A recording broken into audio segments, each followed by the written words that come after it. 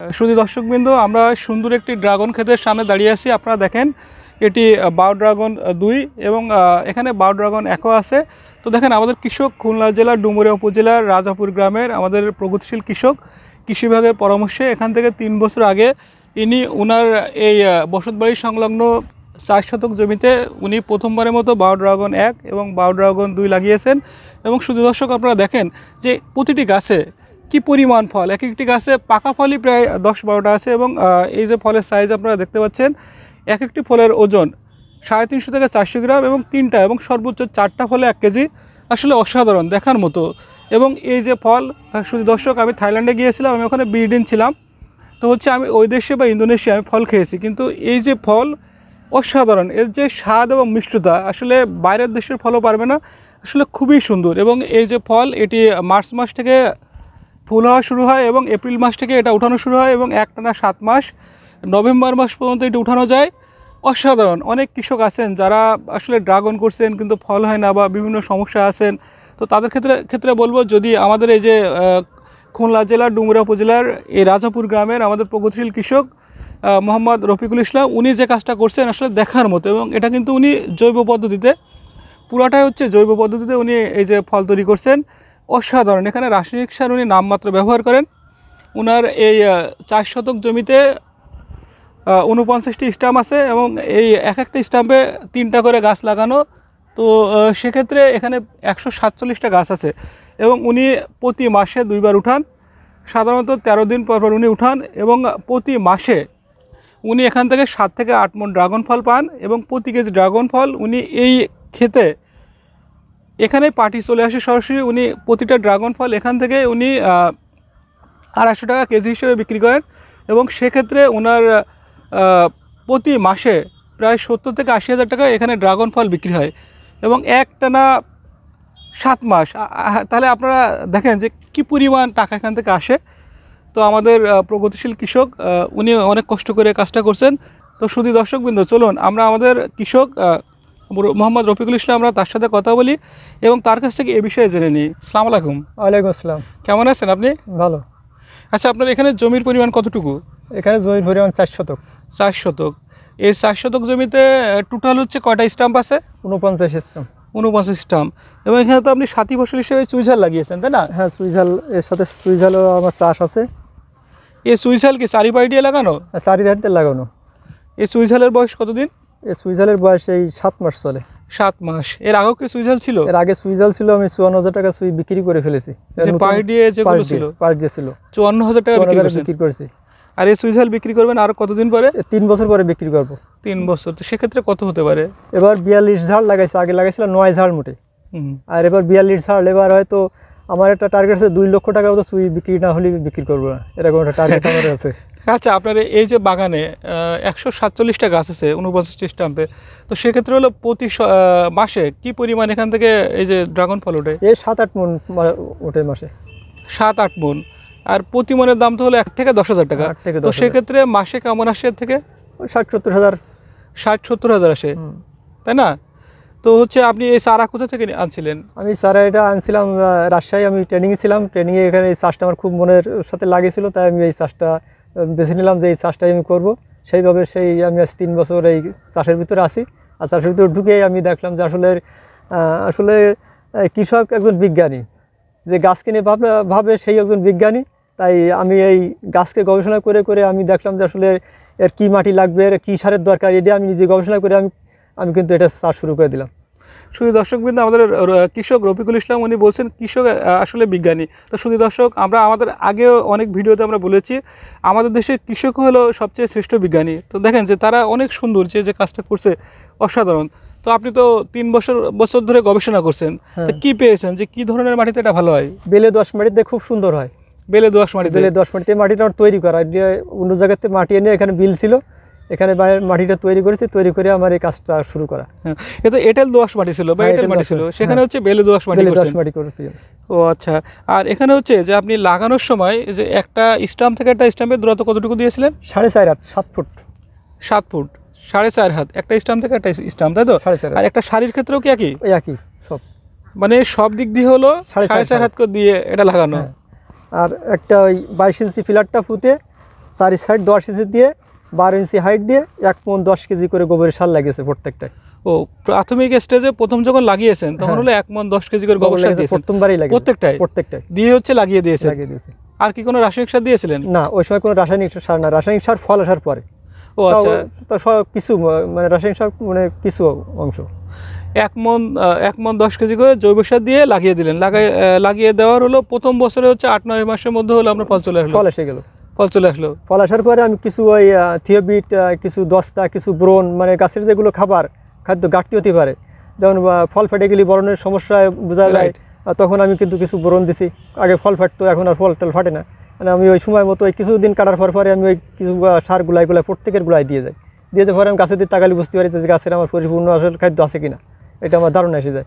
তাহলে হচ্ছে ফল কাটার দু একদিন পরে হলো দুইবার ফল কাটার পরে হচ্ছে একবার পরে একটু সার দিই। তাহলে এক মাস পর পর দেন এক মাস পর পর। তো সেক্ষেত্রে কি গুড়াই দেন না হলো থেকে- পুরো ক্ষেতের ভিতর দিয়ে দেন? পুরো পুরো ক্ষেতের পরে ক্ষেতের ভিতরে অল্প দিই কিন্তু ওই সাইডে কমপক্ষে এক ফুট দূরত্বে সারগুলো ব্যবহার করি। কি কি সার দেন? এখানে সার ওই ওই মিশ্র সার একটু দেওয়া পড়ে হালকা মানে বেশি না। ওই মানে রাসায়নিক সারে দেখেছি গাছের পছন্দ ধরে। তার জন্য ওই সারটা দিতে ভয়ও লাগে। তার জন্য বেশি জৈব সারের কাজই করি বেশি। এটা আছে আর মূল আছে জৈব সারের হতেই আমার রাস্তা আচ্ছা আমরা দেখছি যে গুড়ায় কুচুরি বানা দেওয়া প্রচুর পরিমাণ কুচুরি বানা কুচুরি বানা গোবর সার। হ্যাঁ। তো হচ্ছে এটা আসলে কি? এই সম্পর্কে একটু বলেন তো। এই কুচুরি পানা সারটাই সব থেকে ভালো জিনিস। আমি এই চৈত্র মাসে এই কুচুরি পানাটা উঠে ইয়ে করে ইউরিয়া সার হাড়ের গুঁড়ো দিয়ে আমি পলিথিন দিয়ে ঢাকিয়ে রাখি রাখি ওইটা যে সার হয়ে যায় সেটা প্রত্যেক গাছের গুঁড়ায় দিই টোটাল এটা কচুরি পানা দিয়ে ঢাকিয়েও দিই। এখানে এক এক বিঘাত পুরো করে কচুরি পানা দেওয়া ছিল সব খেয়ে ফেলেছে গাছে। ও পুরো হচ্ছে মালচিং করছিলেন হ্যাঁ, পুরো পুরো দেয়া হ্যাঁ, সব দেওয়া ছিল কিন্তু সব শেষ হয়ে গেছে। আচ্ছা। আবার দেবো এই বছর। আর হলো গোবর সার। গোবর সার। আর- হচ্ছে মূল বানা গোবর সার আর এটা কি বললেন? ওই মিশ্র সার। মিশ্র সার। মিশ্র সার। এনপিকে মিশ্র সার হ্যাঁ, যেটা। ওটা দিয়ে হচ্ছে রাখছিলেন। এটা হলো ফল আসার আগে তাই তো? ফল আসার আগে। অর্থাৎ হলো নভেম্বর ডিসেম্বর মাসে মাসের দিকে। মানে দুই মাস আড়াই মাস আগে ফল আসার আগেই এটা খাদ্য দেওয়াই হয়ে যাবে। আচ্ছা গাছের চেয়ারও তো অনেক সুন্দর। হ্যাঁ গাছের চেয়ারা মানে সাদা হলে তো আমি ঠিক পাচ্ছি যে আমার গাছের খাবার কমে যাচ্ছে তখন আমি হ্যাঁ। এবং গাছে তো প্রচুর ফুল আছে। প্রচুর ফুল আর আমি যখন ওই শুধু একটা ব্যবহার করেছি আছে লিপ গোল্ড। মানে গাছ গাছের শাখা প্রশাখাকে খুব সুন্দর লাগে। মেটালক্সিল গ্রুপের যে হ্যাঁ, ওষুধ। হ্যাঁ ওষুধগুলো যাতে হলো কোনো রোগ না লাগে হ্যাঁ। এই জন্য হলো লিপ গোল্ড মাঝে মাঝে লিপ গোল্ড মাঝে মাঝে আমি এটা ব্যবহার করি। এটা খুব আমি আহ, বিশ্বাসী এই এই প্রোডাক্টটার পরে আর এই যে পানি বের হওয়ার জন্য তো এই যে ড্রেন হ্যাঁ, করে দিয়েছেন না? নালা করে দিয়েছেন। হ্যাঁ, যাতে পানিটা সহজে হ্যাঁ, বের হয়ে যায়। পানিরা সহ্য করতে পারে না। সহ্য করতে পারে না, যেমন সহ্য করতে পারে না ড্রাগন একই জিনিস। মানে বেশি পানি সহ্য করতে পারবে না। অতিরিক্ত জলাবদ্ধতা হলে সহ্য করতে পারবে না। না। এই জন্য সুন্দর করে ড্রেন করে দিয়েছেন। আর এখানে তো হচ্ছে যে আগাছা পরিষ্কার করেন আর আগাছা সবসময় পরিষ্কার করি। আমার এখানে আমি যে খাবারটাই দেবো সেই খাবারটা গাছেই পাবে অন্য কিছুতে নিয়ে যেতে পারবে না। তার জন্য পাশে দেন বেড করে দিয়েছি। আমি যে সারটা দিলে বের হয়ে যাবে না এরাই খাবে। তো এখানে দেখছি আমরা সাথী ফসল হিসেবে আপনি মরিচ লাগাইছেন। আর কি কোনো ফসল লাগিয়েছিলেন এর ভিতর? এর ভিতরে আগে গতবার টমেটো লাগাইছিলাম বাড়ি খুব সুন্দর টমেটো হয়েছিল। তা টমেটো লাগানোর পরে দেখলাম যে এই গাছের প্রতি এটা ইফেক্ট পড়তেছে মানে গাছের ফলটা ছোট। কমে যায়, হ্যাঁ, ফল ছোট হয়ে হচ্ছে। যায়, হ্যাঁ। তারপরে এটা চিন্তা করে দেখলাম যে এখানে এর ভিতরে আর কিছু লাগানো যাবে না। তার জন্য এবার ওই কয়েকটা মরিচ গাছ লাগাইছি নিজে খাওয়ার জন্য। ওটা মাঝে মাঝে তুলে তুলে খাই এটা। আপনার চার শতক জমিতে টোটাল হচ্ছে কেমন টাকা খরচ হয় প্রতি বছর পরিচর্যা বাবদ? পরিচর্যা বাবদে পাঁচ সাত হাজার টাকা খরচ হয় বেশি খরচ হয় না। সাত হাজার টাকা। আর কত টাকার ফল আসে এখান থেকে? এখান থেকে গতবার আইছিল এক লাখ বাষট্টি হাজার। আর এবছর দুই লাখ পার হয়ে যাবে আশা করা দুই লাখ পার হয়ে হ্যাঁ, যাবে দুই লাখ পার হয়ে যাবে। এর প্রাথমিক খরচটা তো একটু বেশি। প্রাথমিক একটু পিলার বলেন বা স্টাম্প বলেন এটার হ্যাঁ, দাম একটু বেশি এটা পিলার নিজেরা করলে সব থেকে ভালো মানে এ তো দীর্ঘদিন ফল দেবে। ও আচ্ছা এই পিলার একটা উচ্চতা কতটুকু? সাত ফুট। সাত ফিট। আর চওড়া? ওই ওর সব পাঁচ পাঁচ করা। পাঁচ পাঁচ। পাঁচ পাঁচ ইঞ্চি করে? পাঁচ পাঁচ পাঁচ করে ওর ভিতরে রড দিয়ে খাঁচা করে দেয় তৈরি করা। ও আচ্ছা পাঁচ পাঁচ বলতে বুঝলাম না। পাঁচ ইঞ্চি পাঁচ ইঞ্চি। পাঁচ ইঞ্চি হ্যাঁ পাঁচ ইঞ্চি আর সাড়ে সাত ফুট। হ্যাঁ সাত ফুট। সাত ফুট। সাত ফুট হলো উচ্চতা আর পাঁচ ইঞ্চি হলো চওড়া তাই চওড়া। আর এখানে তো ওই যে টায়ার দিয়ে দিতে হয়। হ্যাঁ টায়ার দিছি তারপরে ওই রড দিছি। দুই ফুট দুই ফুট রড। দুই ফুট দুই ফুট রড দিলে ওইটা ধারণ ক্ষমতা ধরে রাখতে পারে। বেশি বড় দিলে আবার সমস্যা। আচ্ছা। রাখতে পারে না। তো এই যে আপনার উনপঞ্চাশটা পিলারের দাম কত যখন এটা সাড়ে দশ হাজার টাকা খরচ হয়েছিল। সাড়ে দশ হাজার। বাড়ি তৈরি করেছিলাম আমি। আর সারা কত করে লাগছিল? যারা আমি আমার কাছে টাকা নিছিল না। ও ফ্রি দিয়েছিল। ফ্রি দিয়েছিল আমার ওই ওখানকার ওই সে ওখানকার ওই রাজশাহীতে এক চেয়ারম্যানের ভাই তার এই অগ্নিসাগর কলা আছে। আমার ওই যে একটা কলা দেখছেন? ওই কলাটা অগ্নিসাগর কলা। ও কলার মানে অনেক সার আমি বিক্রি করেছি। আমি কলাও খাইছি খুব সুস্বাদু কলা অগ্নিসাগর কলা। হুম, কলা। এখন ও লাল যে কলাটা। লালটা কলা লাল যে কলাটা ওই ওই লোক খুশি হয়ে আমার এই বাগান করার একটা উদ্যোগ দেখে উনি খুশি হয়ে আমার এইগুলো দিছিল। চারাগুলো দিয়েছিল। হ্যাঁ, তো সেক্ষেত্রে তো বেশি টাকা খরচ হয়নি বারো তেরো হাজার টাকা খরচ হয়েছে বেশি টাকা খরচ হয়নি তবে একশো মন মতো গোবর লাগেছিল গোবরের সার লাগল একশো মনের মতো। সেটা আমার নিজের ছিল তার জন্য ওটা আর খরচের ভিতরে ধরা যায় না। আর তেমন তো কোনো খরচ নেই এখানে তাই না? না এখানে তেমন কোনো খরচ নেই কারণ কোনো কীটনাশক লাগে না। আর কি কি পরিচর্যা করা লাগে এখানে? এখানে শুধু একটা পিঁপড়ের সমস্যা হয় মাঝে মাঝে পিঁপড়ে ওঠে পিঁপড়েটা ঠেকাতে। হয় পিঁপড়ার জন্য কি দেন ও ই পাউডার দিয়ে দিয়ে ওই পিঁপড়ে- Sabin powder? হ্যাঁ ওই পাউডার ওই এর- দিয়ে দিলে ভিতরে কিছু যায় হ্যাঁ পায়ে দিয়ে যদি সেভেন পাউডার দেওয়া হয়। তাহলে কিন্তু পিঁপড়া আসে না আরেকটা বিষয় যদি আপনি এই যে চুইঝাল লাগান পায়ে দিয়ে তাহলে কিন্তু পিঁপড়া আসবে হ্যাঁ। পিঁপড়ে এই লাগানোর পর কমিয়ে গেছে হ্যাঁ। কিন্তু পিঁপড়ে নেই আগে হ্যাঁ, হ্যাঁ, প্রচুর ছিল এইটা লাগানোর পর আমি খেয়াল করতে হ্যাঁ চুইঝাল লাগালে যদি চারিদিক দিয়ে চুইঝাল থাকে হ্যাঁ। তাহলে কিন্তু পিঁপড়া আসবে না হ্যাঁ। আর আরেকটা বিষয় যে আপনার এখানে যে ফুল হয় তাই না এই যে আমরা একটা ফুল দেখতে পাচ্ছি এটা কিন্তু আজকে রাত্রে হয়তো ফুটবে বা কালকে ফুটবে রাত্রে রাতের বেলায়। হ্যাঁ। তো আপনি কি এই যে কোনো পরাগায়ন করেন এই ফুলে? কোনো পরাগায়ন? লাগে না। এমনি ফুল আমি মানে আরও কেটে ফেলে দিই। এত করে ফুল ফুটে যে গাছে অনেক ফুল হলে ফল দেওয়া ছোট হয়ে যায়। ছোট হয়ে গেলে আবার গ্রেটে কমে যায়। তখন আমি কিছু ফল যেখানে পর পর দুটো দুটো তিনটে ফুল হলো। আচ্ছা। এখানে যদি তিনটে ফুল থাকে তাহলে এই ফলগুলো ছোট হয়ে যাবে। যদি ওখান থেকে দুটো ফুল আমি নেওয়াই দিই তাহলে ফলগুলো বড় হলে একটা তিনশো সাড়ে তিনশো গ্রাম হয়ে গেল। ও সেক্ষেত্রে সংখ্যায় কম হলেও কম হলে টাকায় বেশি হয়। ওজনে হচ্ছে বেশি ওজনে বেশি আবার টাকায় বেশি গ্রেটে বেশি কোয়ালিটিও ভালো হয়। কোয়ালিটি ভালো হয়। ও আচ্ছা তা এখানে কি কি রোগ হয়? এর রোগ শুধু একটাই পচন রোগ। পচন রোগ? পচন রোগ এই তাছাড়া এর কোনো রোগ না। তার জন্য তো লিপ গোল্ডেন মাঝে মাঝে। হ্যাঁ লিপ গোল্ড দিই লিপ গোল্ড দিই তারপরে রিডোমিল গোল্ড অনেক সময় দিয়ে বসি। তারপরে নিবনে দু এক সময় ব্যবহার করি। মানে বিভিন্ন মানে হ্যাঁ সবগুলো হলো ম্যানকোজে মেটালক্সিল গ্রুপের হ্যাঁ, ওষুধ বিভিন্ন কোম্পানির ওষুধ বিভিন্ন কোম্পানির ওষুধ। আর পোকা কি পোকা লাগে এখানে? এতে ফুকা লাগতে দেখিনি আমি। শুধু পিঁপড়া? শুধু পিঁপড়াই আছে ফুকায়ের আর সেভেন পাউডার দিলে হয়ে সেভেন যায়। পাউডার দিলে হয়ে যায়। আর ওই শুধু ওই আহ, ছত্রাকনাশক যে কোনো একটা গ্রুপের একটা মানে যে কোনো কোম্পানি দিলে হয়ে তারপরে ওই একটা ই আছে ওই আপনার ওই অ্যাগ্রোভেট যেটা ওই শিকড় বৃদ্ধি করে ওটা একসঙ্গে গুলায়ে এক মাক করে সারি সাইড দিয়ে গুলাই ছাড়ি দিতে চলে চলে যায়। যে বৃষ্টি দেখি আকারে দিকে আচ্ছা। আকারে বৃষ্টি দেখার সাথে আমি আর ওই কাজ শুরু হয়ে যায়। এবার বৃষ্টি হয়ে গেল শেষ হয়ে গেল। যদি বৃষ্টি না থাকে মোটর দিয়ে পাইপ দিয়ে পানি মেরে দিই। গাছের উপর দিয়ে পানি ছেড়ে দিই দিলে ওই আস্তে আস্তে পানি ইয়ে হয়ে যায়।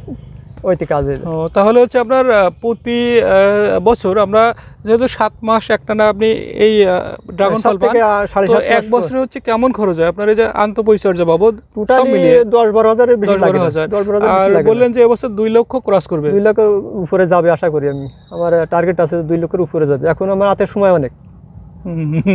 হবে। আপনার দুই লক্ষ না আরও বেশি বিক্রি হোক হ্যাঁ, এটাই আমরা চাই। এটা প্রায় লাখের কাছাকাছি তো চলেই গেছি। হ্যাঁ। আগামীকাল সকালে যাব লাখের কাছাকাছি টার্গেট হয়ে গেছে। তাহলে আরও যে সামনে যে সময় আছে আশা করি দুই লক্ষ পার হওয়ার সম্ভাবনা আছে।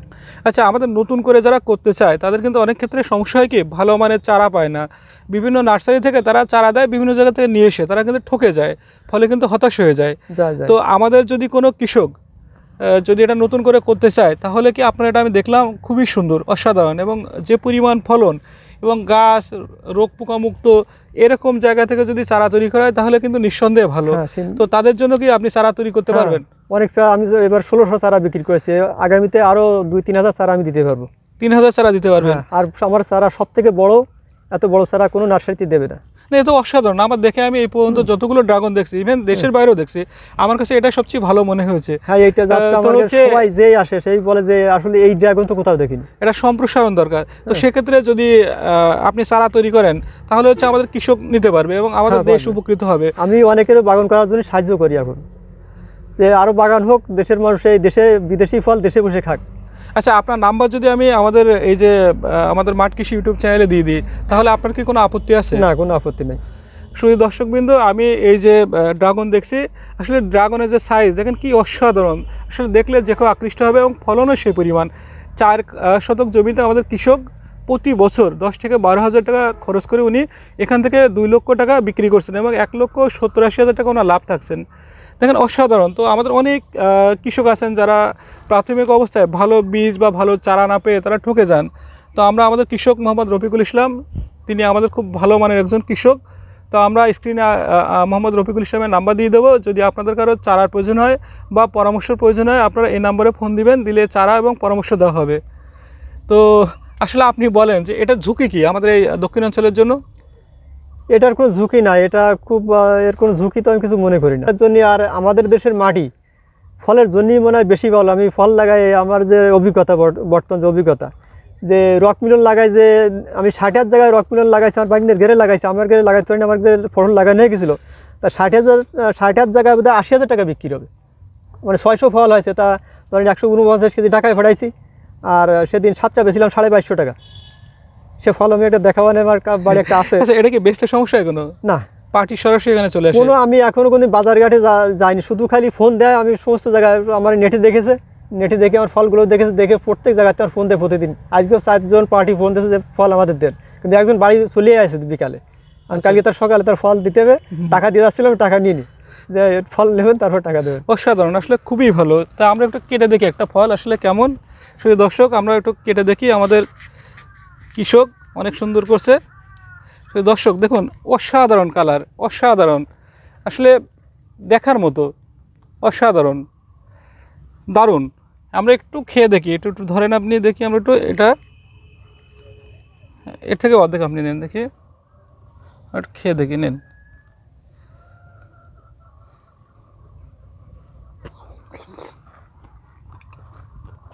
অসাধারণ, আমার দেখা বেস্ট যেহেতু আপনি জৈব উপায়ে তৈরি করছেন এত সুস্বাদু ফল যেই খাইছে সেই এত সুস্বাদু আসলে হয় না। সুস্বাদু ফল হয় না।